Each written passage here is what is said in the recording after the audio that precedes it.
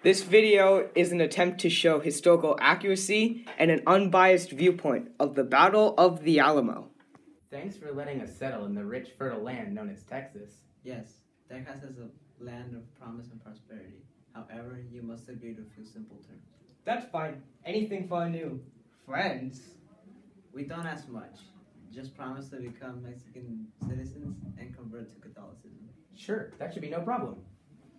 Oh, by the way, we don't have slaves in this country. That's fine. Our settlers can easily adapt to any situation. Map of Texas, the 1800s. Settlers flocked to the new land, eagerly seeking adventure, opportunity, and most of all, a land to call their own. Things were fine between the two different cultures, but it became quickly evident that the settlers were not holding their end of the agreement. They held slaves and wouldn't become Mexican citizens. Finally, tensions rose to an extreme, and the settlers occupied an old mission or fort, the As you can see on this map, General Santa Anna is on his way to the Alamo from San Antonio. This is the first step in order for them to reclaim their fort. 1,500 soldiers marched with Santa Anna. The Texan defenders stationed at the Alamo had about 300 men.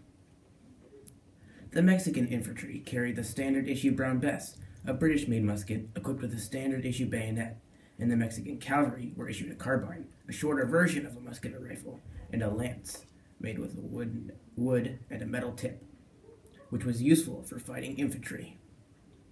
The Alamo defenders were armed with muskets, rifles, and pistols. The Mexican and U.S. armies carried swords as well, but they were mainly for identifying rank and giving battle commands. All right, men, this is it. What we've been preparing for. Whether we prevail or perish today, we must remain vigilant. Watch the walls, men. At any time, the enemy could storm our barricades. Remember why we fight here. Remember, this is the Alamo. He's right, men. This is our time to prove our worth as soldiers. This is our chance to make a difference. We will defend our rights no matter what. The defending troops were not ready when the Mexican troops arrived on February 23, 1836. The President General made an unheard of choice to wait for the rebels to prepare. This decision surprised the rebels and the troops under him. It was a great show of military courtesy, but may not have been the best tactical decision. The Mexican army slowly reclaimed their fort. The battle proved to be a costly one for both armies. The Alamo defenders lost 150 to 220 men, and the Mexican army lost around 600, killed or wounded. Contrary to what some people say, the Alamo wasn't a massacre. In fact, the women, children, and non combatants, or slaves, were released and allowed to go home. The victory proved to be a costly one for the Mexican army, but one must consider the defenders' advantages. The Mexican had more men, however, the rebels had the advantage of the fort, the advantage of the courteous general who waited for them to prepare, and some may argue that they had spirit and the good reasons to fight. All these advantages must be taken into consideration for the outcome of the battle. The most notable effect is the increased tensions between U.S. and Mexican relations. These tensions would eventually lead to the two year long bloody Mexican American War.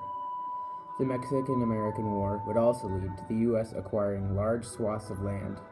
Finally, the Alamo was the first step in the annexation of Texas and the eventual overthrow of General Santa Anna.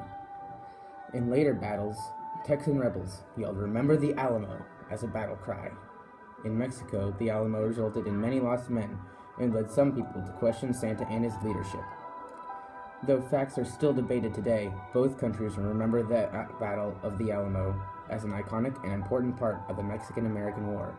It's up to you to decide who is in the right, and always remember the Alamo.